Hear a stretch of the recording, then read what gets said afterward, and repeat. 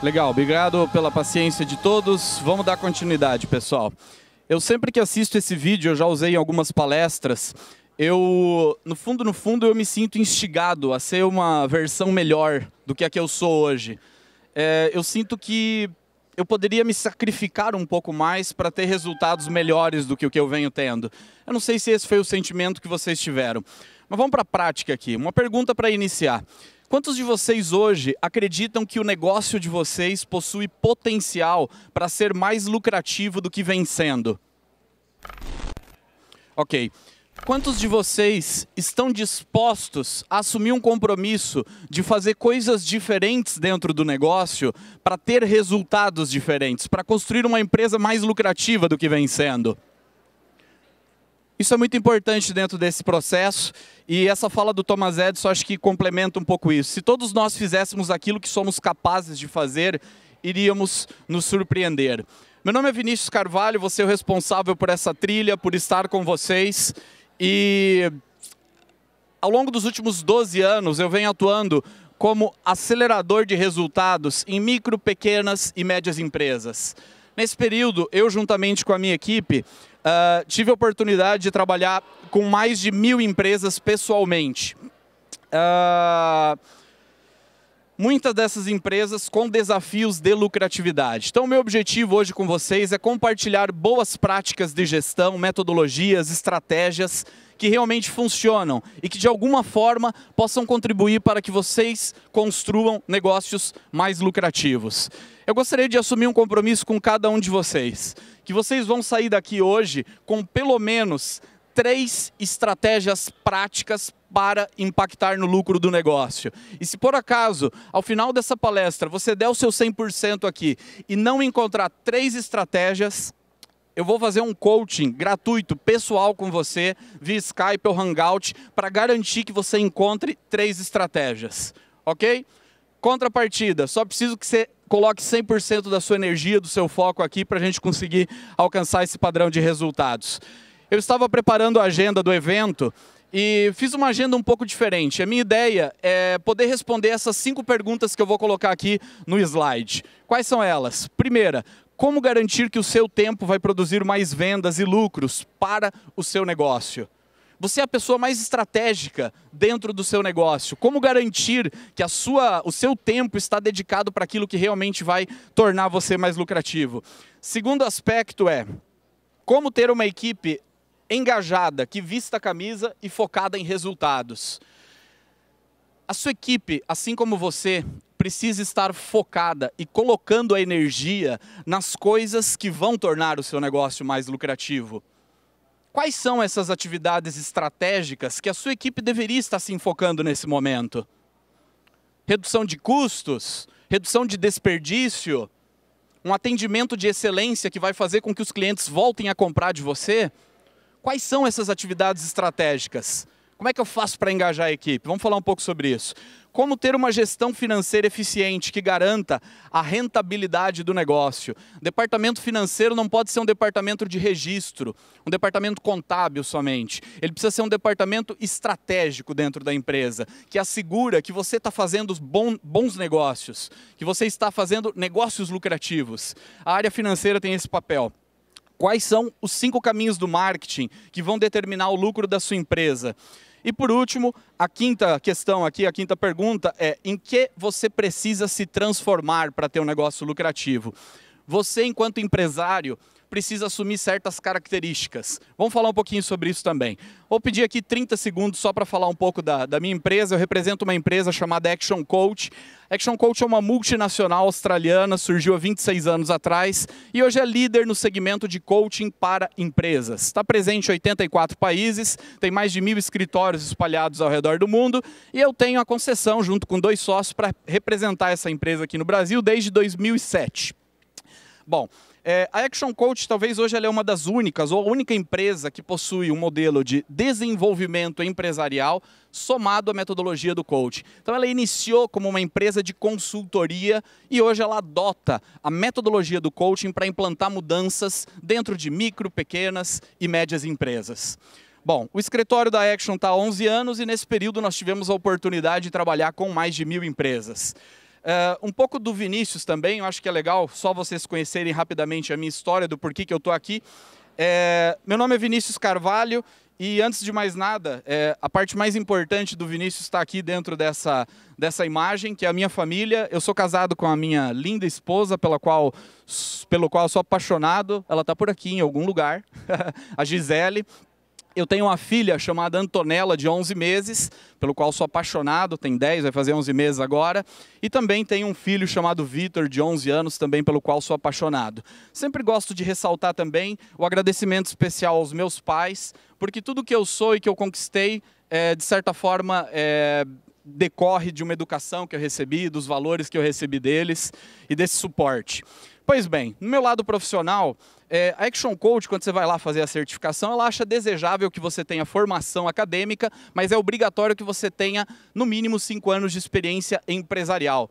Mas quando eu fui fazer a minha certificação, só uma questão bem pontual aqui, que foi um dos maiores aprendizados que eu tive na minha vida, eu cheguei para o certificador, porque eu olhei para o lado lá no, na cidade de Monterrey, no México, eu olhei para o lado e vi um consultor da Deloitte. Olhei para o outro, vi um consultor da Pricewaterhouse. Olhei para o outro lado, tinha um diretor de uma multinacional aqui da América Latina. Todos eles fazendo certificação. E eu, ué, será que eu estou no lugar certo?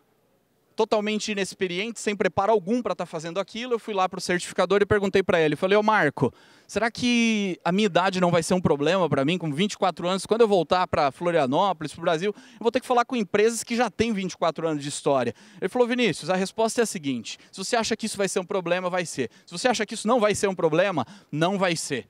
E ali eu achei interessante, falei, nossa, é simples assim então? É só achar que não é um problema? É só isso mesmo. Então eu falei, então não vai ser um problema. Vou continuar nessa, nessa empreitada, nesse negócio. Só que ali daí veio o meu maior aprendizado que eu tive profissional da minha vida até hoje. Não existe almoço grátis nessa vida. Tudo tem um preço. dentro dos limites éticos, legais, dos valores que você pratica, tudo tem um preço. E eu tive que pagar esse preço, porque eu estava muito atrás de muitas pessoas que já atuavam nesse mercado. Então, nesse sentido, fui fazer certificações, fui para os Estados Unidos, fui para o México, fui para a Áustria, enfim, investi em mim para eu poder realmente estar preparado para atuar é, como coach de empresas. E aí, nesse sentido, eu voltei então para o Brasil e aí comecei a atuar. É, desde então, nessa trajetória, fui reconhecido por quatro vezes como número um da América Latina no segmento de Business Coaching e já fiz mais de 800 workshops é, em diferentes países, falando com empresários no Chile, no México, na Colômbia, na Argentina, no Peru, no Panamá, é, nos Estados Unidos. Então, é, hoje a minha missão profissional é ajudar o empresário a entender o seu papel dentro dos negócios, para que ele possa produzir mais resultados para o negócio e para ele mesmo. E hoje eu quero realmente cumprir com esse propósito aqui com vocês.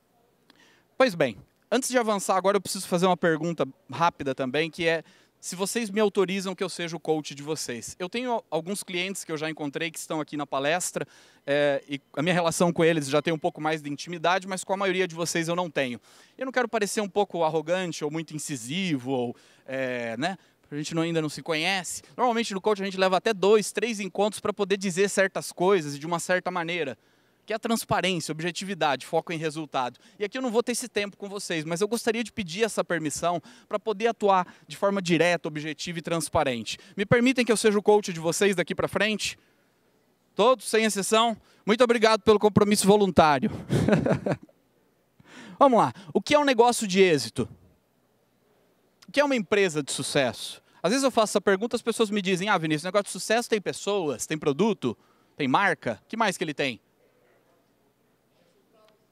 Tem resultados, tem lucro, tem organização. Action Coach tem um conceito bem interessante para o negócio de sucesso. Eu gostaria que vocês lessem em voz alta comigo para fixar. Um conceito bem legal para vocês levarem com você. Vamos lá então, todo mundo comigo, por gentileza. É uma empresa comercial, rentável, que funciona sem o dono na operação. Quantos têm um negócio de êxito dentro dessa premissa aqui que eu apresentei? Pode ser que esse não seja o seu conceito, mas ele é no mínimo interessante e curioso, não? Vamos falar um pouco sobre isso aqui.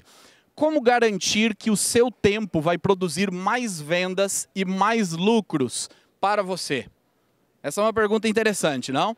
Existem duas formas de um empresário trabalhar dentro da empresa. Quais são essas duas formas? Operacionalmente e estrategicamente. O que, que vai levar você e o seu negócio mais longe? O quanto você trabalha no operacional ou o quanto você trabalha no estratégico? No estratégico, fantástico. Existe um conceito interessante nessa linha de tempo, depois vocês podem aprofundar. É, esse foi um método desenvolvido por um, um, um, autor muito famoso chamado Stephen Covey, ele já faleceu, mas ele escreveu um livro, Os Sete Hábitos das Pessoas Altamente Eficazes. E nesse livro ele fala um pouco sobre isso, é um dos sete hábitos, que é, primeiro, o mais importante. Depois ele escreveu um livro para aprofundar ainda mais isso. Pois bem, o que, que, diz esse alvo do tempo? Que existem algumas atividades que a gente desenvolve no nosso dia a dia. Dentre elas, aquelas que não são importantes e não são urgentes. Do que, que ele chama isso? Distração. O que seria um exemplo de distração no nosso dia a dia? Celular, WhatsApp, Facebook, redes sociais. Se você usa isso como ferramenta de negócio, de captação, de geração de negócios, ótimo. Do contrário, talvez tenha que dar uma olhada nisso. Pois bem, existe aquilo que também é urgente, mas não é importante. Quando eu estou falando com empresários, eu nem considero aquele item anterior. Eu considero a partir daqui o desafio, que seria aquilo que é urgente, mas não é importante. O que seria isso? Ilusão. Como assim ilusão? Dá a sensação de que você trabalha bastante, você começa cedo, você sai tarde, mas e aí? Que, que você fez de importante que vai ajudar você a ter um negócio mais lucrativo?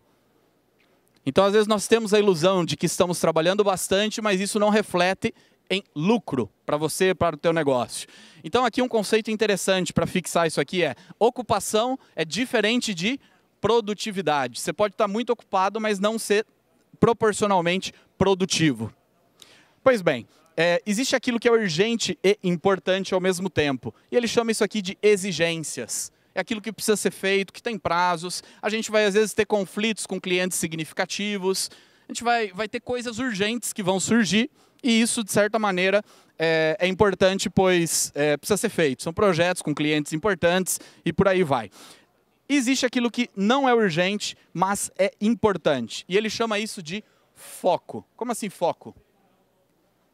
Aqui é onde o empresário, a empresária, e me perdoem aqui, mas quando eu me refiro a empresário, entendam empresárias também. Tá? Aqui é onde vocês deveriam estar trabalhando, no foco, nas coisas importantes. Na época do livro, o Stephen Covey ele fez é, algumas, alguns estudos e algumas estatísticas sobre isso. É muito interessante, porque eu acho que isso aqui já mudou né, com o tempo. Ele diz que entre 2% e 3% das pessoas em geral dedicam o tempo para atividades que são distrações.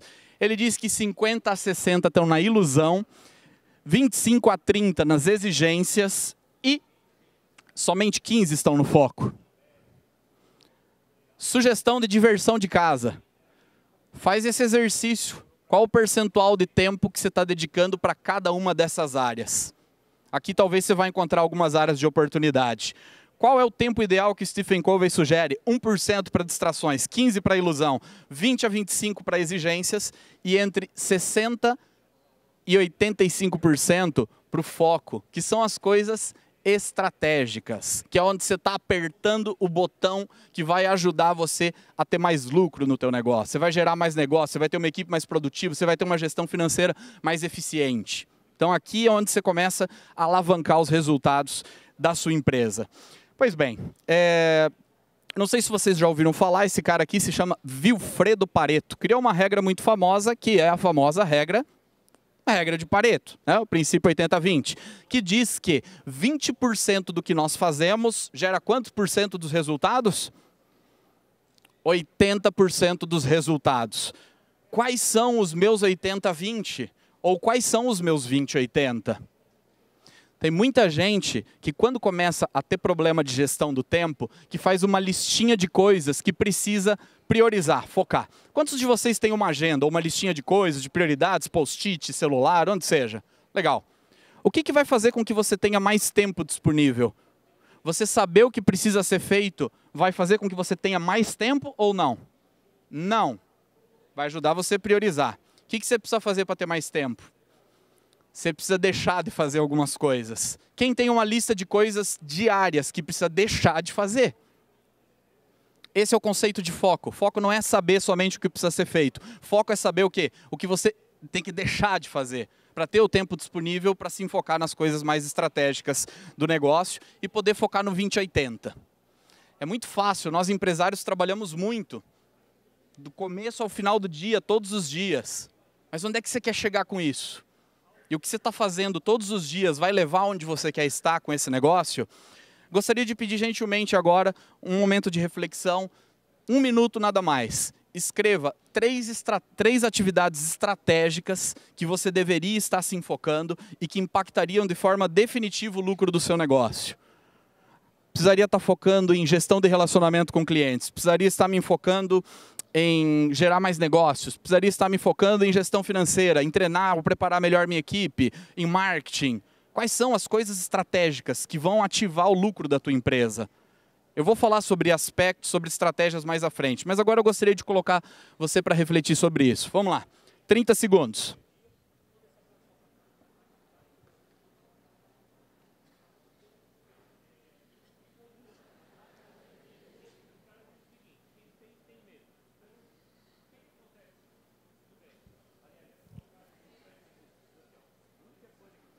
Se alguém não tiver pastinha aí, tem umas pastinhas pelas cadeiras que tem folha dentro para anotações também. Se alguém quiser anotar no celular ou de outra forma, sem problema.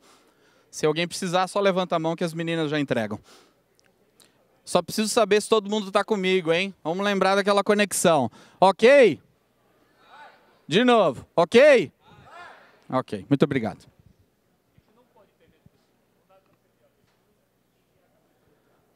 Você escreveu três coisas. É isso, é simples. Não existem fórmulas mirabolantes. É isso. É aí onde você deveria estar colocando a sua energia.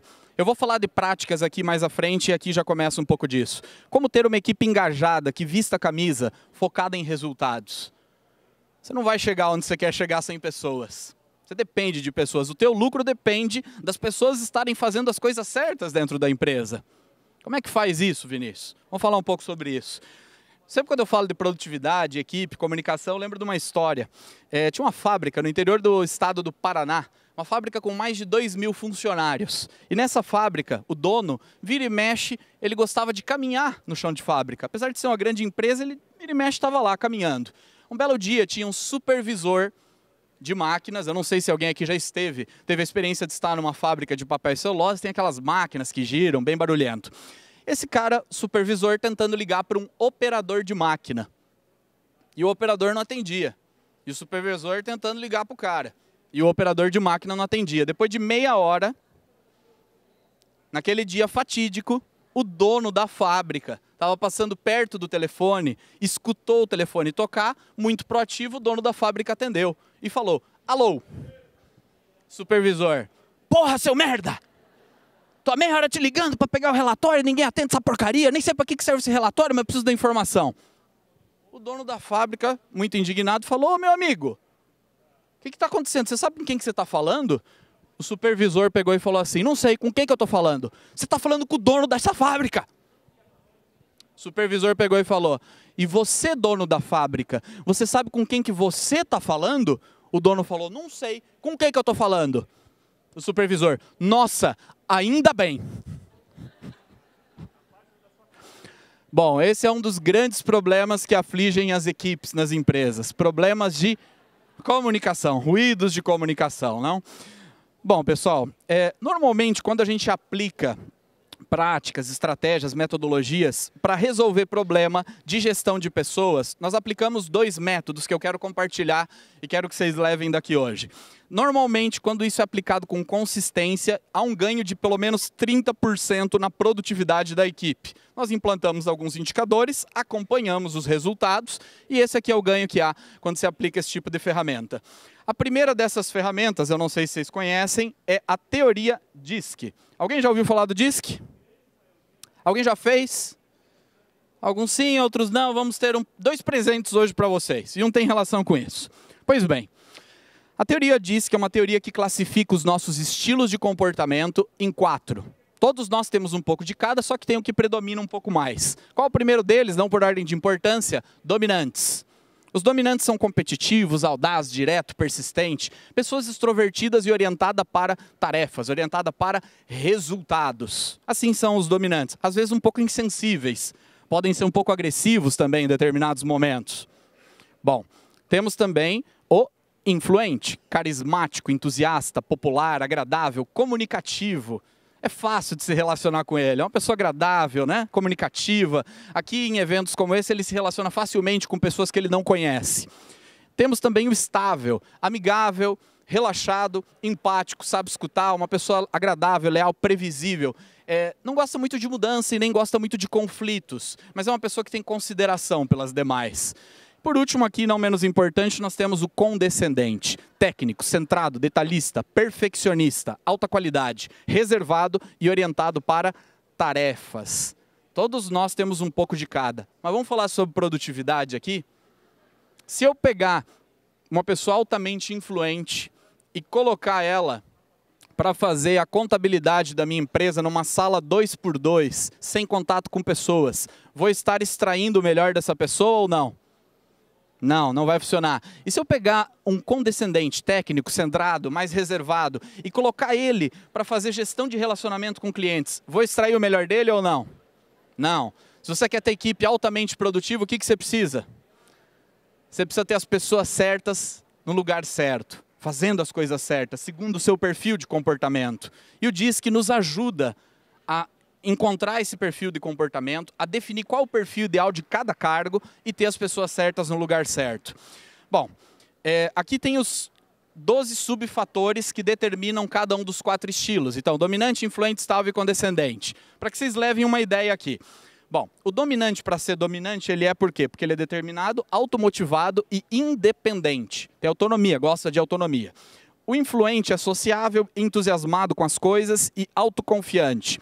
O estável, paciente, tem consideração e é persistente. E o condescendente, que é também sinônimo de conformidade, ele tem conexão, ele tem exatidão e tem perceptividade. Todos nós temos um pouco de cada. Se você quer fomentar mais uma, uma, uma característica, um certo comportamento, aqui estão os caminhos que você vai ter que adotar.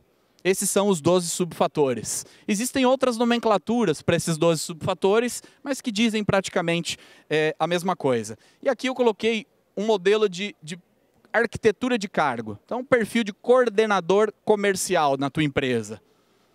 Esse seria o, a arquitetura segundo as empresas de RH especializadas nisso. E aí você vai lá e faz o DISC, o que, que acontece? Tem um gap aqui, não? Quais são os caminhos quando eu chego nessa situação? Ou você informa isso para a pessoa e ajuda ela a desenvolver e se encaixar, porque é muito normal isso. Às vezes nós não temos totalmente o perfil aderente ao cargo, mas você tem que saber o porquê que você está se adaptando. Ou o quê? Ou troca. Ou busca pessoas que tenham perfis adequados para os cargos. Isso definitivamente vai ajudar você a ter uma equipe muito mais produtiva. Bom, hora do primeiro presente da tarde. Se vocês tiverem interesse, aqueles que não fizeram o teste DISC e tiverem interesse em fazer o teste DISC, vocês vão entrar depois, não precisa ser necessariamente agora, mas vocês vão entrar no celular de vocês e colocar esse número. Alguns podem falar, ah, Vinícius, mas o WhatsApp pode colocar número fixo? Pode. Esse é o, é WhatsApp corporativo. Esse número, da forma que está. Se o teu número é daqui 48, nem precisa colocar o 48. Se for de fora, coloca o 48. E aí lá, você vai mandar uma mensagem, Oi Vinícius, quero fazer o meu DISC. Aí você coloca o seu nome, nome da tua empresa, e ali você vai receber um link. Dentro das próximas 48 horas, é, a gente vai enviar um link para você responder o DISC e saber qual é o seu perfil. Fechou? 50 primeiros que mandarem mensagem vão ter direito a fazer o DISC.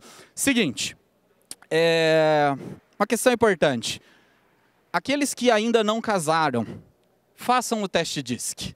Isso não tem aplicação só empresarial. Né?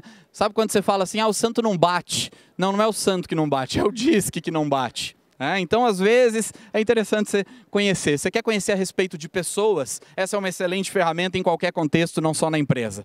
Segunda ferramenta poderosa que você pode utilizar para aumentar engajamento, aumentar a produtividade das pessoas dentro da sua empresa.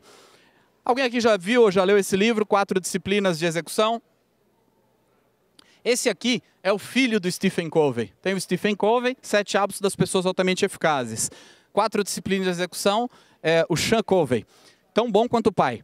Bom, qual que é a pegada desse livro aqui? Tem muitos livros, muitas literaturas que falam a respeito de planejamento. Esse aqui não fala de planejamento, ele fala sobre execução, que talvez é uma das maiores lacunas que há nas empresas. Então, esse livro fala de quatro disciplinas que você precisa adotar, implantar no teu negócio para garantir engajamento, produtividade no nível máximo da tua empresa. Qual é a primeira das quatro disciplinas?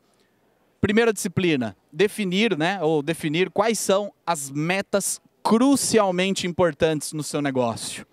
Eu, alguns clientes, eu já falei isso, vou repetir para eles, mas é, tem uma história interessante do Kennedy. Lá, acho que foi 58, 59, quando ele assumiu a presidência dos Estados Unidos, uma das áreas que ele tinha que desenvolver era o, a parte da NASA. E a NASA tinha N metas estratégicas, bonitas de se ver, mas difícil de se aplicar.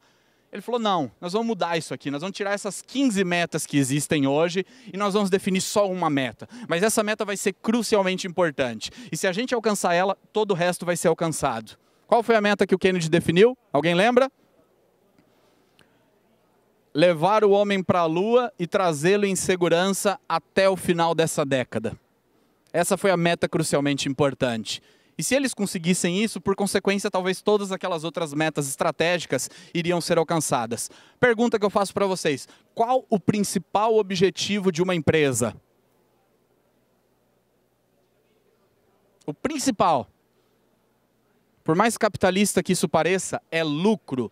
Lucro primeiro, não lucro a qualquer custo, não lucro por cima de valores, mas é lucro. O lucro é o oxigênio. Você só vai manter pessoas, porque a resposta poderia ser pessoas, quando você tiver lucro. Você só vai atender o seu cliente quando você tiver lucro. Você precisa de lucro no teu negócio. Então eu preciso ter a minha empresa totalmente direcionada, com toda energia dedicada para isso, para gerar lucro, para alcançar esse tipo de meta crucialmente importante. Só meta crucialmente importante já é o suficiente? Não. O que eu preciso também aqui? Próxima disciplina, atue nas medidas de direção. Existem algumas medidas, tem dois tipos de indicadores de desempenho: os indicadores é, históricos e as medidas de direção. O que são medidas históricas? São aquelas medidas que já passaram, já foi. Não tem como mudar. Faturamento do mês passado, tem como mudar? Não. Não. Ok. E o que, que são medidas de direção? São aquelas que você pode mudar. Excelente. Vou dar um exemplo para vocês. A minha empresa, para atingir o ponto de equilíbrio, que é aquele ponto onde você não tem nem lucro nem prejuízo, ela precisa fazer 100 transações. E ela trabalha 20 dias úteis por dia.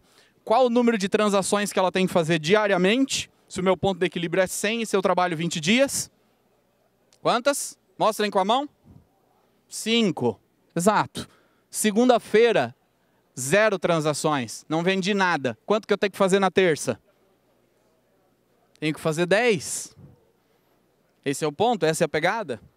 Então, na segunda-feira, você já vai saber se você está mais perto ou mais longe de alcançar a sua meta. Você não precisa passar o mês para chegar a essa conclusão. E você já vai ativar o setor comercial, e você já vai ativar o setor financeiro, e você já vai ter toda uma energia, um esforço, um alinhamento para quê? Para continuar focando no lucro. Se, esse for, se essa for a tua meta crucialmente importante.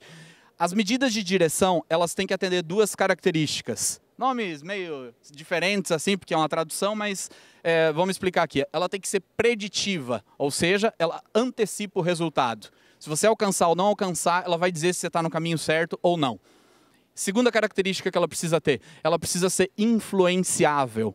Não adianta você colocar para a tua equipe uma medida de direção que as pessoas não tenham capacidade de influenciar. Então ela tem que ser influenciável. Você tem que ter a capacidade de mover esse indicador. Terceira disciplina, mantenha um placar envolvente.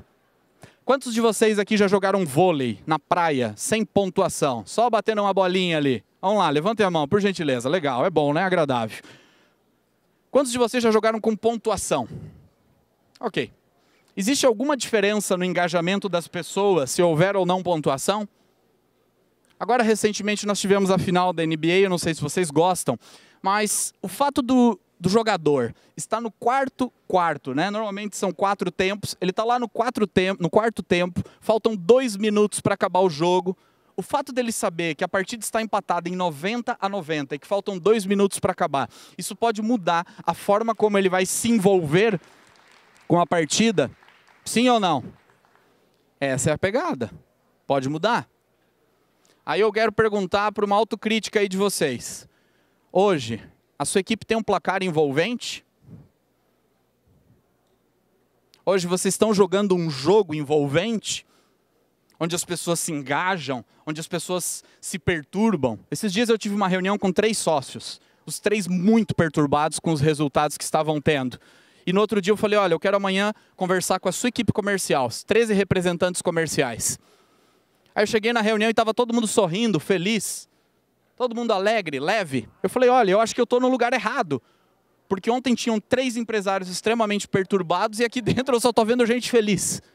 Que não está sentindo esse nível de perturbação. Ou seja, não estão jogando o mesmo jogo.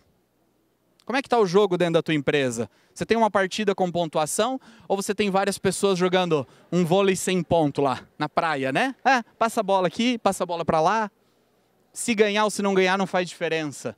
Porque não dói no meu bolso, porque não vai fazer diferença para mim. Muito importante. Quarta disciplina. Crie uma cadência de responsabilidades. Tem duas coisas que aumentam o desempenho das pessoas: consciência. Elas precisam saber por que elas estão fazendo, tem que ter consciência, tem que ajudar a dizer tem um conceito de liderança que diz assim, ó, liderar é a arte de conseguir que os outros façam, por sua própria vontade, as coisas que você acredita que eles deveriam fazer. Ou seja, não está fazendo porque você pediu, porque é uma diretriz da empresa. Por que, que eles estão fazendo? Porque eles querem fazer. Então eu preciso dar consciência, eles têm que saber por que, que eles estão fazendo. E a outra questão é responsabilidade. As pessoas precisam ser cobradas, as pessoas precisam prestar contas para você das medidas de direção, do placar. Eu tenho alguns clientes no segmento de coaching, como eu comentei, e toda semana eles têm que me prestar contas das atividades que eles falaram que iam fazer. Na segunda-feira, ele vai ser cobrado. Ele vai ter que prestar conta. E eu pergunto às vezes para eles: como é que você sente? Pô, eu me sinto desconfortável quando eu não fiz, porque eu sei que você vai cobrar.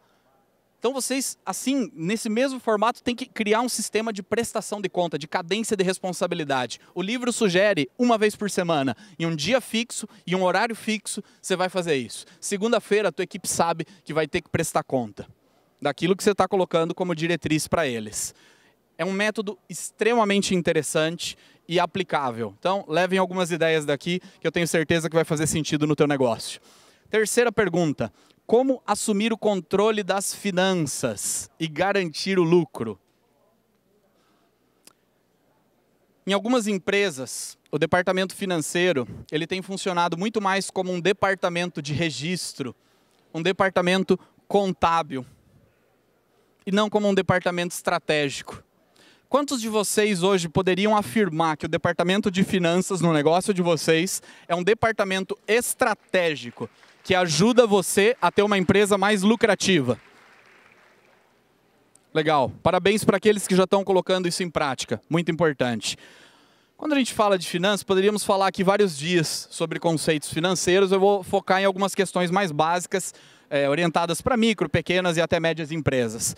Primeiro, é, ponto crítico né, da gestão financeira, fluxo de caixa. Segundo, ponto de equilíbrio. Terceiro, margens. E quarto, indicadores de desempenho. Então, esses seriam quatro pontos essenciais que qualquer empresa precisa administrar muito bem. Pois bem, qual desses quatro é o mais crítico, na opinião de vocês? Tem dois tipos de morte em uma empresa. Quais são elas? Morte lenta e morte rápida. a morte rápida se deve ao quê? Falta de caixa para pagar as contas. Tem empresas que são lucrativas que vão à falência. Existem vários estudos que indicam isso. Que a maior causa de falência não é falta de lucratividade, é falta de caixa, fluxo de caixa. Então tem que ter uma gestão eficiente.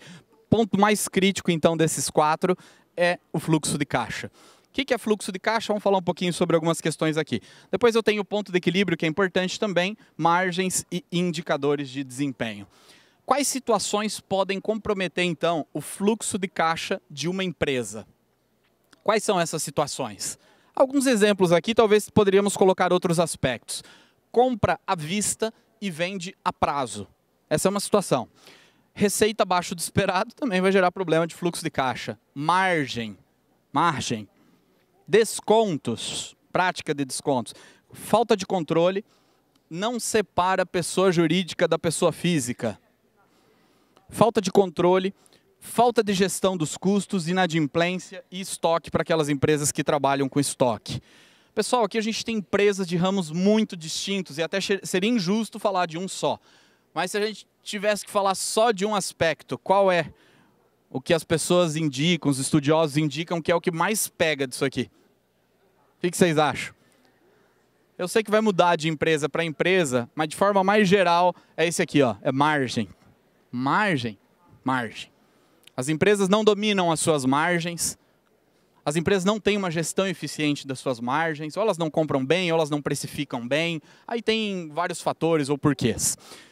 Então aqui interessante é começar a exercitar, né? Qual seria o ponto de equilíbrio de uma empresa que tem 50 mil de custo fixo e margem de contribuição de 40%. Eu trouxe aqui em forma de exercício, mas para fixar, eu sei que as empresas, muitas têm sistemas que já dão essas informações, mas é um, é um, é um, ponto interessante aqui.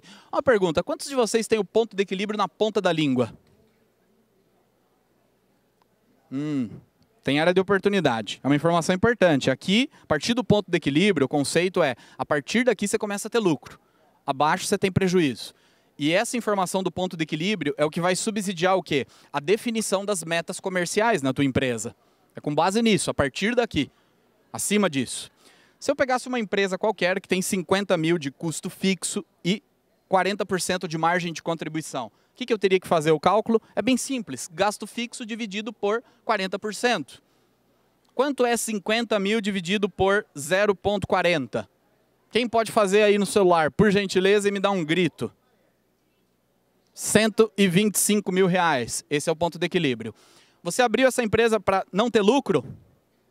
Não, você quer ter lucro. Então você vai fazer o seguinte: você vai fazer um outro tipo de cálculo de ponto de equilíbrio. Você vai incluir o lucro. Agora você vai pegar os 50 mil. 30 mil de lucro tá bom para essa empresa? Quer mais? 30. Então coloca agora 50 mais 30 dividido por 0,40. Ou seja, 80 dividido por 0,40. Quanto deu? Quanto? 200? Isso?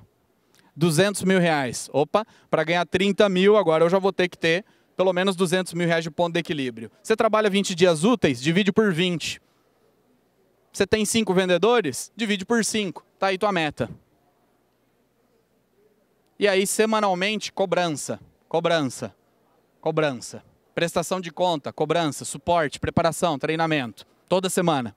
Para garantir que estão fazendo o que precisa ser feito. Aqui tem um outro exercício interessante, é um exemplo. É, dentro de uma empresa, você pode adotar duas estratégias. Assim como no futebol, são duas estratégias. Quais são as duas estratégias do futebol? Quais são? Futebol. Quais são as duas estratégias que você pode fazer? Adotar no teu negócio? Ou você joga na defesa ou você joga no ataque. Quando eu estou jogando no ataque dentro da minha empresa, eu estou focando em quê? Aumento de vendas, geração de negócios. E quando eu estou jogando na defesa, eu estou focado em quê? Gestão de custos. Então eu vou falar das duas estratégias para você. Vamos primeiro falar do ataque. Ah, Vinícius, para mim não dá o ataque. Tem problema, depois eu falo da defesa. O que quer dizer o ataque? Aumento de vendas. Melhor estratégia para aumentar vendas se você presta um serviço diferenciado, se você se diferencia dos demais, a melhor estratégia é aumento de preços. Ah, isso dá um frio na barriga, né? Mas é uma estratégia. Depois você entra no mérito se ela é viável ou não para você. Eu quero falar de números aqui primeiro. Então vamos supor que você aumente os seus preços em 5%. Para quanto que vai o seu faturamento? Se você não perder vendas? 105 mil reais. E vamos supor que você consiga manter o seu custo variável estático, que é o custo da mercadoria vendida, é o custo do serviço prestado, nos mesmos 60 mil reais. Tem impostos, comissões, ok, mas de forma geral vamos dizer que você consegue manter em 60 mil reais. Isso significa o quê? Que você vai ter um lucro que era de 5 mil passando para 10 mil reais. O simples fato de você aumentar 5 pontos percentuais no seu preço e continuar vendendo para os mesmos clientes, porque você tem diferencial competitivo, vai fazer com que você, nesse exemplo aqui, dobre o lucro. Você vai ter 100% de aumento no lucro. E se você fizer com 2%, com 10%, você vai ter três vezes o lucro. Aqui é domínio de margens. A gente tem que entender os porquês. Aí, aí talvez a gente teria que entrar aqui um pouco no tema do marketing, da diferenciação, da nossa proposta única de venda, que é aquele selo exclusivo que diferencia a sua empresa dos demais, para a gente poder realmente chegar a uma conclusão se dá ou não para aumentar os preços. Mas tem uma outra estratégia, que é jogar na defesa. Jogar na defesa implica que você vai fazer o quê? Gestão eficiente dos seus custos. Então, como é que eu faço isso? Partindo do pressuposto que eu vou focar em renegociações. Bateu a crise, eu vou comprar melhor, eu vou fazer alguma coisa para conseguir ter uma gestão mais eficiente e vou reduzir o meu custo variável. Olha que interessante. Se nesse exemplo aqui você reduzir o seu custo variável em 5 pontos percentuais, ou seja, ele vai cair de 60% para 55%, isso significa que você pode reduzir o seu faturamento em 12 mil reais. Pode reduzir de 100 para 88, que você continua tendo os mesmos 5 mil reais de lucro, mesmo faturando menos. Existem empresas que em tempos de crise conseguem lucrar mais. Por quê? Porque elas reduzem o faturamento por conta de um aumento de preço ou de uma redução de margem, negociação. Só que tem um detalhe aí. Elas também, se elas estão faturando, por exemplo, de 100 para 88, significa que você pode diminuir o seu custo operacional para faturar 100 mil, você precisava ter uma força de equipe, de estrutura e tal. Para faturar 88, você pode reduzir. Então, vai reduzir o quê? O seu custo fixo, que era de 35, foi para 33. Agora você faturando 88 mil, você tem 7 mil de lucro. O que seria um aumento aqui do lucro é, mais ou menos de 20, é, 40% a mais de lucro, mesmo reduzindo o teu faturamento. Esse é o domínio de margem. Né? Como é que funcionam os descontos? Como é que funcionam os incrementos de preço que afetam as margens das empresas? E que às vezes a gente usa essa prática de forma desmedida sem entender o impacto. Quero fazer um rápido exemplo aqui com vocês. Você tem uma empresa, eu vou usar o número 100 mil porque é mais fácil, né? É uma empresa que fatura 100 mil reais por mês e ela tem 30% de margem de lucro. Quanto de lucro ela tem? 30 mil. E você dá 10% de desconto porque você não está disposto a perder negócio. Aí o seu lucro foi de 30, agora foi para quanto? 20. Reduziu 10 mil de 30 para 20. Ok. Quanto você precisa faturar agora no próximo mês para voltar a ter 30 mil de lucro, agora que a sua margem é 20%? Você precisa aumentar o seu faturamento, segundo aqui a planilha, em 50% para voltar a ter o mesmo lucro de 30 mil reais. 50% a mais é fácil, não? Talvez é até impossível, porque você não tem estrutura para isso, para vender tanto a mais de um mês para o outro. Pois bem, é... deixa eu fazer uma pergunta. E agora eu quero que vocês sejam sinceros comigo. Por que, que as equipes de vendas dão desconto? Se os seus vendedores dão desconto, por que eles dão desconto? Alguns vão me dizer assim, Vinícius, os meus vendedores dão desconto porque eles precisam vender, porque eles querem bater a meta, porque o cliente pede, por N motivos. Todos têm uma certa razão aqui, só que tem um motivo principal pelo qual os teus vendedores dão desconto. Porque vocês deixam ele dar desconto. É exatamente isso. Isso é um problema teu, não deles. E se eles dão sem tua autorização, você tem alguns filhos mal educados que precisam ser educados. Filho mal educado é culpa de quem? Do pai, da mãe, da avó que não está aqui? Vendedor mal educado é culpa de quem? Tem alguns que vêm mal educado, né? Mas a gente precisa educar. Porque essa prática pode levar a sua empresa a quebrar. Como funcionam os aumentos de margem? Os aumentos de margem funcionam assim. Eu tenho a mesma empresa, fatura 100 mil reais. E eu aumento em 10% o preço, por exemplo. Somente como exemplo, tá? Esses 10% a mais que eu vendo vão para onde? Para o teu lucro. Então o teu lucro que era de 30, vai para quanto? 40. A sua margem agora é quanto? 40%. O que, que significa? Que você pode reduzir o seu volume de vendas em 25%, que você vai continuar tendo 30 mil de lucro. Então, essa empresa que fatura 100, aumenta 10 de margem, ela pode perder 25% dos clientes que ela continua tendo o mesmo lucro. Na Action Coach, nós dizemos que existem quatro tipos de clientes: o A, o B, o C e o D. A de admirável, B de bom básico, C de conflitivo e D de dívida incobrável. Complicado esse, né? Os clientes A e B representam 80% do seu resultado e 20% do seu esforço. Faz sentido? Vocês têm clientes A e B ou não? Que representam mais, que são aculturados com a sua empresa e que geram menos esforço? Sim ou não? Legal.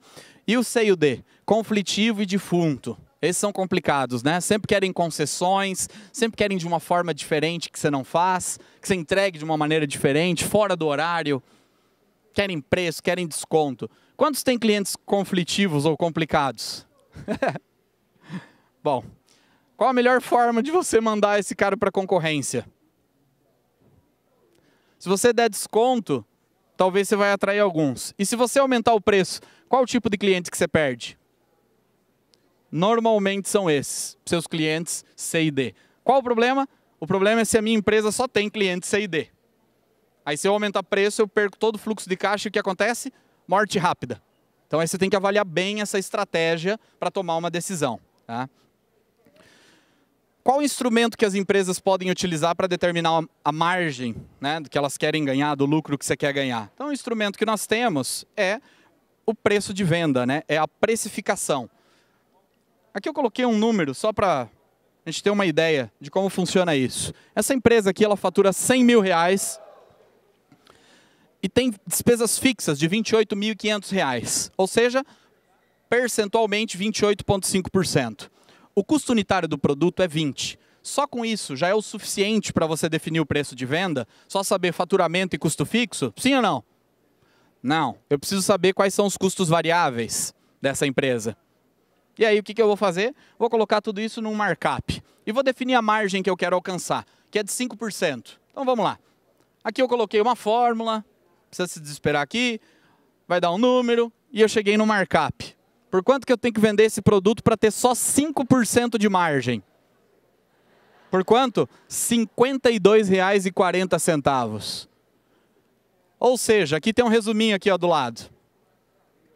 Preço de venda 52, custo da mercadoria 20, custo variável 14,86, custo fixo 14,93 e a margem, o lucro 2,62. Aí chega o cliente lá no balcão da tua empresa e fala assim: "Faz por 50". E às vezes a gente faz por 50, sim ou não? E aí a sua margem agora qual é? Zero. Não tem mais nada. Isso acontece. Então essa parte financeira é muito importante entender que a área operacional do negócio garante a entrega dos serviços, dos produtos, do que você oferece. Área de marketing e vendas é o coração, que faz todo o resto funcionar. Ele bomba sangue para todas as áreas. E a área financeira é o que assegura o quê? O lucro do teu negócio. Ela tem que ser vista como uma área estratégica e não só uma área de registro. Agora eu quero responder a quarta pergunta e ela é muito interessante, que é quais são os cinco caminhos que determinam o lucro de uma empresa? Existem alguns caminhos. Quais são eles? Quais são esses cinco botões do marketing que você precisa apertar para conseguir é, alavancar os seus lucros? Vamos lá. Vamos falar um pouco sobre isso. Normalmente no marketing, quando as empresas dominam muito bem, dominam muito bem esses três indicadores aqui. Só que esses três indicadores, os três têm algo em comum. Os três são o quê? Indicadores de resultados. E você precisa trabalhar com o que gera resultado e não só com o resultado em si. O que determina o número de clientes de uma empresa? Clientes potenciais multiplicado por taxa de conversão. Se você quer aumentar o teu número de clientes do próximo mês, você tem que pensar, como é que eu faço para captar mais? Quais são três estratégias que eu vou utilizar para ter mais prospectos? E como é que eu faço para converter? Depois disso, eu tenho clientes multiplicado pelo número de transações que ele faz contigo, multiplicado pelo preço de venda médio ou ticket médio, e isso vai gerar o quê? Vendas. Vendas multiplicado pelas margens é lucro. Então, a gente fala assim, ah, eu quero aumentar meu lucro. Não, você tem que aumentar as suas margens, porque é isso que vai implicar no, no incremento do seu lucro. Eu vou colocar números aqui só para facilitar a compreensão. Novamente, preciso saber se vocês estão aqui comigo engajados. Ok? Mais uma. Ok? Muito bem. Obrigado, tá? Vamos colocar número para facilitar a compreensão. Essa empresa aqui tem 4 mil clientes potenciais num horizonte temporal de 12 meses. 4 mil todos nossos clientes potenciais se convertem e fecham negócios conosco ou não? Todos aqueles que te conhecem compram? Não. Alguns compram, outros não. E isso nós chamamos de taxa de conversão, que é o percentual que você ativa, que você converte em negócio. Nesse exemplo aqui são 25%. Ou seja, 4 mil ao longo do ano conhecem, tem potencial para comprar e mil realmente compraram. E esses mil, ao longo de um ano, fizeram várias transações. Nesse caso aqui, foram 10, mais ou menos uma por mês. E gastaram, em média, 200 reais. Legal, isso gera um volume de vendas dessa empresa, 2 milhões ao longo do ano. E essa empresa, multiplicado pela margem que ela tem de 10%, gera um lucro de 200 mil reais. Legal. É... Fazer um exercício agora para reflexão sua. Se a gente pensasse num projeto de 12 meses, quanto você acredita que você poderia aumentar no seu negócio o número de clientes potenciais? Em 12 meses. Quanto é possível aumentar em 12 meses o teu número de clientes potenciais? Alguém acha que dá para aumentar 10%? Vamos dizer que você tem mil clientes potenciais em um ano. Dá para aumentar de mil para mil e cem em um ano? Sim ou não? Alguém acha que dá para aumentar mais do que 10%? Alguém acha que não dá para aumentar 10%? Ok. Se você aumentar 10% nesse exemplo, que é um número bem conservador, você vai aumentar de 4 mil para 4,400. A taxa de conversão, o número de prospectos, só para dar exemplos aqui de estratégias, como é que se aumenta o número de prospectos? Se eu não estou fazendo rádio, eu vou fazer. Se eu não estou fazendo marketing nas redes sociais, eu vou fazer. Se eu não invisto nas mídias digitais, eu vou investir. Se eu não tenho, ou se eu tenho um vendedor performando, eu vou colocar mais um. Se eu não tenho telemarketing, eu vou ter. Se eu não envio e-mail marketing, eu vou enviar. Aí tem que ver qual a estratégia mais aderente para a tua empresa. Isso vai te ajudar a aumentar o número de prospectos. Pensando num plano de marketing de 12 meses. Taxa de conversão. Como é que eu melhoro taxa de conversão? Melhorando a performance da minha equipe de vendas. Se eu implementar as quatro disciplinas de execução com a minha equipe de vendas, eu posso te garantir que naturalmente você vai aumentar no mínimo 20% da tua taxa de conversão. Se você se dispor nos próximos 90 dias, nos próximos três meses, a gente está em início de trimestre, se disponha. Eu vou pegar essas 13 semanas e uma vez por semana eu vou fazer uma reunião de placar de vendas com a minha equipe. Eu garanto que essa prestação de contas, esse alinhamento, essa discussão, essa troca de boas práticas vai ajudar você a incrementar aqui. Colocar número conservador. Você aumenta de 25, 10% dá de 25 para 27,5.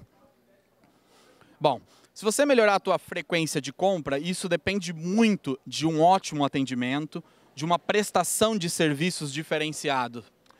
É... Tem um conceito que fala assim, ó, compras repetidas é igual a lucro. Por que, que compra repetida é igual a lucro? Porque o cliente que volta a comprar, ele não gera o que nós chamamos de custo de aquisição. Prospecto multiplicado por taxa de conversão no marketing é o que nós chamamos de custo de aquisição, é o preço que você paga para adquirir um novo cliente. Se o cliente não está tendo um preço para ser adquirido, o que, que significa? Que você não está despendendo um valor e vai ser mais lucrativo com aqueles que voltam. Você tem políticas, práticas de fidelização que instigam o cliente a voltar? Eu tenho que ter essa compreensão e criar realmente modelos de fidelização e buscar estratégias nesse sentido. Benefícios na próxima compra e algo que faça com que o cliente volte. Então, eu vou saltar aqui 10%, vai de 10 para 11. Se eu aumentar o meu ticket médio, vou deixar de dar desconto, vou, vou, vou segmentar, vou atacar mais forte naqueles clientes que são aculturados ao meu modelo. Vou focar no cliente A, no cliente B, que não tem nada a ver com classe social são os clientes que são mais aderentes ao seu modelo de negócio e vou aumentar o meu ticket médio. Eu não quero entrar muito no mérito da estratégia por questão de tempo, mas que vocês levem daqui a mecânica de funcionamento disso. Se você aumentar 10%, vai de 200 para 220. E a margem, vou trabalhar em gestão eficiente de custos, melhor de 10 para 11. Vamos ver o impacto disso? O impacto de um crescimento conservador de somente 10% nesses cinco caminhos gera na sua empresa um aumento de 1.000 para 1.210 o número de clientes, o volume de vendas vai de 2 milhões para 2.928 e o seu lucro vai de 200 mil para 322. Somente com 10% de aumento. Por que, que isso acontece? Porque você está dividindo os seus esforços em algumas medidas de direção que vão impactar nos resultados centrais que você quer incrementar. Na prática, o que, que significa para você, para sua empresa? Que se você aumentar de forma linear 10% em cada um dos cinco caminhos, você vai aumentar em 21% o seu número de clientes, em 46% o seu volume de vendas e em 61% o lucro do seu negócio. Esse é o impacto e isso poderia ser muito maior se os seus números fossem diferentes. Então a minha sugestão para você, alguns eu vi tiraram foto, faz esse exercício. Coloca quais são os teus números e qual é o teu potencial de crescimento em cada um desses cinco caminhos. Você vai se surpreender com os resultados. Por questão de tempo, eu não tenho como entrar aqui tão fundo nas questões das estratégias. Eu vou oferecer para vocês no final um presente para aqueles que queiram receber esse presente que é a possibilidade de fazer uma análise de potencial do seu negócio, juntamente com o diagnóstico e a oportunidade de você estar 90 minutos junto com um coach, discutindo essas questões, só que de forma mais direcionada para o seu negócio. Então, se alguém sentiu, uh, Vinícius, eu quero aprofundar mais, eu quero entender que tipo de estratégia eu poderia utilizar aqui nos cinco caminhos, para o meu negócio, para o meu modelo de negócio. Então, dentro depois da pastinha de vocês, tem uma folha. Para aqueles que tiverem interesse, basta preencher essa folha e depois a gente faz contato, troca algumas, ideias, algumas ideias, isso não tem custo algum. Tá? Vamos para nossa, nossa quinta pergunta, pergunta número 5. Pergunta número 1. Um. Qual foi a pergunta número 1? Um? Falamos da importância de você dedicar o seu tempo. Você é a pessoa mais estratégica e precisa se concentrar naquelas questões que vão levar o seu negócio a ser mais lucrativo. Pergunta número dois tem a ver com o quê? Equipe. Precisamos engajar nossa equipe nas atividades críticas que determinam os resultados da empresa. Pergunta número três Finanças, precisamos ter um departamento financeiro estratégico. Pergunta número 4. Cinco caminhos do marketing para aumentar os lucros. Pergunta número 5. Em que ou em quem você precisa se transformar para ter uma empresa altamente lucrativa? Para fazer isso tudo acontecer, depende de alguém. E esse alguém é você. Pergunta, e agora eu quero me aproximar de vocês. Qual o peso máximo que você acredita que consegue levantar com os seus próprios braços? Aqui, ó, 5 segundos, pode soltar. Qual o número? Quanto você acha que você consegue levantar? Quanto? Quanto? 100 quilos aqui. Alguém levanta mais que 100? Eu vi uns caras meio fortões ali. Quanto? 150. Opa! Alguém levanta mais que 150 aqui? Cinco segundinhos só. Quanto?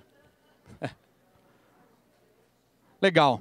Agora eu quero fazer outra pergunta. Qual o peso máximo que qualquer pessoa que vive nesse mundo consegue levantar? Qual é o recorde? Quanto que você acha? Acima de 400. Opa, já mudou. Quanto será? Esse cara aqui bateu o recorde de 2014 no evento do Arnold Strongman. É, e ele levantou aqui. Vou mostrar o vídeo só para comprovar ele fazendo o levantamento rapidamente.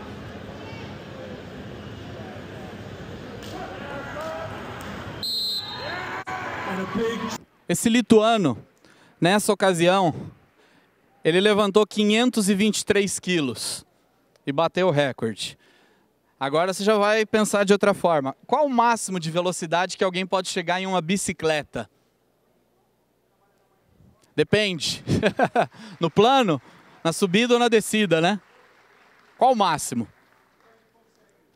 Tem um francês que acoplou três foguetes de hidrogênio na bike dele, continua sendo uma magrela, e alcançou 333 quilômetros por hora.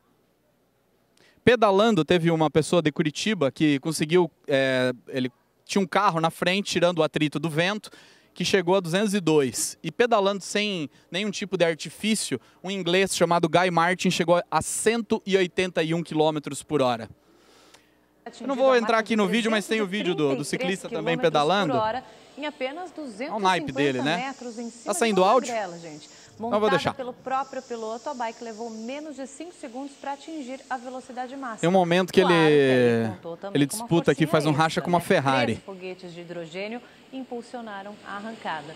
E com essa marca, o ciclista superou o próprio recorde de 285 km a velocidade. em 2013. Olha isso, velocidade pura. Vamos lá. Por que que às vezes nós supomos um número inferior daquilo que é possível de ser alcançado? Quando eu falo, olha, qual o peso máximo que alguém pode levantar, Vinícius? Eu acho que é 200, acho que é 100. Por que que às vezes a gente supõe um número inferior? Por falta de referência, porque eu não levanto peso, ou porque eu não tenho amigos marombados, né? Que eu possa ter essa, essa referência, eu não tenho referências. Tem um estudo interessante que fala que nós somos fruto das cinco pessoas que nós mais convivemos. Nós somos a média. vamos dizer que tem três categorias que você pode se encaixar. Você pode estar na média das cinco pessoas que você mais convive. Você pode estar acima, ou seja, você é uma referência para essas cinco.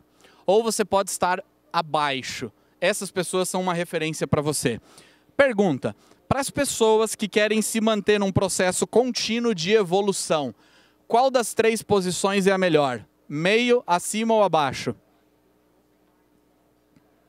A melhor é abaixo. Por que abaixo? Porque eu tenho referências que estão abrindo a minha mentalidade, a minha forma de pensar, mostrando caminhos de como eu posso chegar a resultados superiores. Então, conviva com pessoas que elevem o teu nível, que te puxem para cima, que ajudem você a ser mais lucrativo do que você é, que ajudem você a ter uma equipe mais produtiva do que você tem. Tem que buscar essas referências, né? Quão longe você pode chegar no seu negócio? Vamos sair agora do pedal ali, vamos sair do levantamento de peso. Vamos falar do teu negócio. Eu gostaria de pedir que você responda, eu peço que você responda. É, uma dessas três perguntas não precisa ser verbalmente, aqui dentro da tua cabeça. Qual é o número máximo de clientes que a sua empresa poderia atender mensalmente? O máximo. Qual o máximo de potencial? Segunda pergunta. Qual o potencial máximo de faturamento que a sua empresa poderia alcançar? O máximo. Não precisa criar limites agora, por falta de recurso, de tempo, de energia, de dinheiro, de equipe. E qual o máximo de lucratividade que o seu negócio poderia ter, na sua opinião? O máximo. Qual é o máximo? Quantos de vocês, nesse momento, estão alcançando o máximo de potencial de resultados dessas três perguntas ou de uma delas? Alguns sim, a maioria não. Aí vem a próxima pergunta. E por que que vocês não estão alcançando? Por que, que a maioria não está alcançando esse resultado? Existe uma fórmula para o sucesso, para ter resultados. Tem algumas interessantes, e essa aqui eu gosto muito, que é ser multiplicado por fazer é igual a ter. Ter diz respeito aos resultados que nós queremos alcançar. Ter é enxergar por cima do muro. É ver que você pode ir um pouco além. Aquela pegada inicial do vídeo, de sacrifício, de sentir que você poderia ser melhor do que você é, de que você poderia ter mais disciplina e um pouco além, ter mais consistência e constância, né? Para ter resultado, você precisa o quê? Fazer certas coisas. E para fazer certas coisas, você precisa ser uma determinada pessoa. Pergunta: por que você não alcançou o máximo de potencial ainda do teu negócio? Naquelas perguntas que eu fiz. Por conta do ter, por conta do fazer ou por conta do ser? Quem acha que é por conta do ter, levante a mão por gentileza. Porque eu não sabia o que eu queria ter como resultado. Quem acha que é por conta do fazer? Ok? Vários acham que é o fazer. E quem acha que é por conta do ser? Ok, uma outra parcela por conta do ser. O ter resultados, o fazer ações, planos e o ser comportamentos, conhecimentos, habilidades, competências que você precisa desenvolver para fazer certas coisas. A resposta é a seguinte: às vezes nós temos a impressão de que o problema é o fazer. E por que, que nós temos essa impressão? Porque a maioria das pessoas aqui sabem que precisavam fazer algo e não fizeram. Agora, se você deixou de fazer algo, é porque você não sabia que precisava ser feito?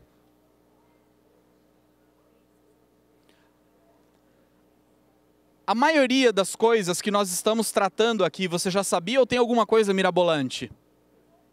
Aí vem a pergunta: e por que você não fez então? Se isso é tão importante, você já sabe disso, na maior parte das vezes. Por que, que nós não fazemos? Não é por você não saber o que precisa ser feito. Na maior parte das vezes você sabe o que precisa ser feito. E aí vem a pergunta: e por que, que você não faz? Porque você não é a pessoa, muitas vezes. Porque você não tem nas suas características, na sua identidade, aquilo que é necessário para fazer. Então, você precisa trabalhar a sua identidade. Você precisa trabalhar o seu ser. desculpa a força da expressão, mas empresários medíocres vão ter que tipo de empresa? Empresários medianos vão ter que tipo de empresa? E empresários acima da média vão ter que tipo de empresa? Acima da média. Então qualquer mudança dentro do teu negócio começa onde? Começa em você. Eu sei que o coaching está um pouco batido, e quando a gente fala dessas coisas, de mindset, de mentalidade, pega um pouco, mas é isso. Tudo começa aqui. Começa por você, por você mudando, por você assumindo certas características, mudando comportamento, aprendendo a dizer não para as pessoas, aprendendo a focar. Isso implica que você vai ter que deixar de fazer certas coisas. Tem uma questão que as pessoas às vezes falam: Ah, Vinícius, eu sou apaixonado pelo que eu faço. E aí eu digo: Olha, esse pode ser o grande problema que você precisa resolver na sua empresa. Porque se você é muito apaixonado, você não consegue desapegar de certas coisas. E aquilo que você fez no passado para ter os resultados que você tem hoje, nem sempre é aquilo que vai te levar daqui para frente. Você precisa desenvolver novas práticas, você precisa se reinventar. A gente fala hoje muito sobre crise, sobre o momento econômico, sobre toda essa questão que envolve o meio empresarial. Mas eu também percebo que tem muitas empresas que não é só a crise que está impactando, mas é a dificuldade com o processo de mudança.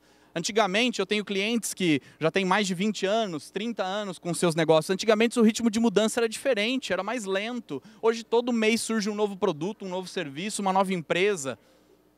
Isso não é fácil. Então, essa disrupção é contínua. A cada vez a gente pensava, ah, inovação, né? Inovação só tem a ver com Uber, com Airbnb. Não, não é. A inovação pode chegar no teu ramo e desestruturar o teu ramo e reinventar a forma que o seu negócio atua. É legal falar um pouco sobre inovação, né? Quando a gente pensa no inovação, vem Uber na cabeça, né? E o Uber hoje vale mais do que a Ford. Quantos carros Uber tem? Nenhum. E a Ford com todo o seu parque fabril e tudo mais. O Airbnb hoje vale mais do que o Hilton. Quantos hotéis ou casas o Hilton, o Airbnb tem? Nenhum. Só que isso parece longe dos nossos pequenos e médios negócios. Não é mais assim. Isso está chegando. E você vai ter que gerar uma disrupção. Existem três certezas nessa vida. Quais são elas? Uma que nós vamos morrer, não vamos falar sobre isso hoje. A segunda é que você sempre vai pagar imposto. Aqui nos Estados Unidos do Trump, aonde for. Né? Na Coreia do Norte tem imposto. E a terceira qual é? É que as coisas sempre vão mudar. A mudança é uma verdade absoluta. E eu preciso ter um ser preparado para essas mudanças. Resultados dentro de um negócio, antes de mais nada, então, é fruto de atitudes de alta performance na condução do seu negócio. Quais são essas atitudes que você precisa estar se focando para construir esse negócio mais lucrativo? Tem que escrever e tem que focar nisso. E atitudes de alta performance, Vinícius, vem da onde? Vem dos conhecimentos que você desenvolveu. Por exemplo, qual é uma ótima forma de desenvolver novos conhecimentos? A leitura. Todos aqui, imagino que são empreendedores ou empresários ou atuam com gestão de negócios. Quantos de vocês leram um livro sobre gestão financeira esse ano? Porque gestão financeira tem impacto nos lucros. Quantos leram um livro de gestão focado em marketing, por exemplo? Então a gente tem que buscar mais. Eu imagino que o pessoal que não levantou a mão é porque leu mais de um livro, logicamente, né? Vou te dizer outra coisa, tá? Sabe qual a média de leitura do brasileiro? Sabe qual a média de leitura do argentino? Temos algum argentino aqui? 11 livros por ano. Sabe qual a média do brasileiro? Um livro por ano. Então, se você não quer fazer isso pelo teu negócio, por você, faça para que a gente consiga superar a Argentina, né? Faça isso, pelo menos por um motivo mais nobre aí. Vamos aumentar a média. Essas variáveis aqui são interessantes e aqui eu gostaria de só traçar uma diferença entre o ensino tradicional e o que a gente está propondo um pouco e além nessa palestra. Porque eu poderia vir aqui só falar de práticas de gestão, mas não é só isso que vai modificar os seus resultados. Então, o ensino tradicional, cursos, graduação, leituras, vai trabalhar muito a parte do conhecimento. Mas não se esqueça que você precisa desenvolver também esses outros aspectos aqui as atitudes, os comportamentos e as habilidades. Então, isso é um pouco do que eu tinha como objetivo durante essa fala.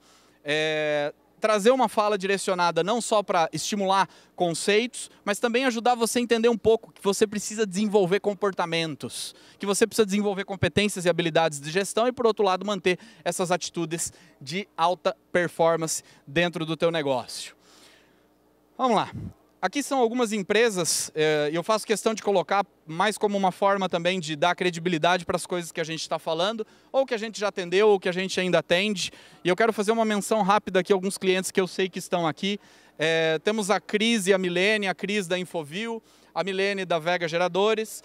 Temos o Jefferson, a Maria Luísa da FS, também a Marise da Compensados Fernandes está aqui hoje.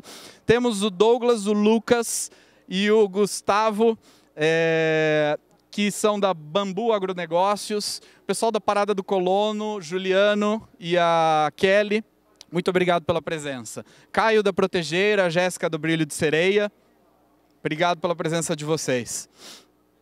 André da Prime também está aqui. Essas são algumas empresas de ramos distintos, enfim, que a gente já trabalhou ainda trabalha. A mensagem que eu queria deixar para vocês no final aqui disso tudo é o seguinte, gente. A dor da disciplina é menor que a dor do arrependimento. Muito obrigado a todos. Faço votos de que tenha sido uma tarde produtiva. Muito obrigado.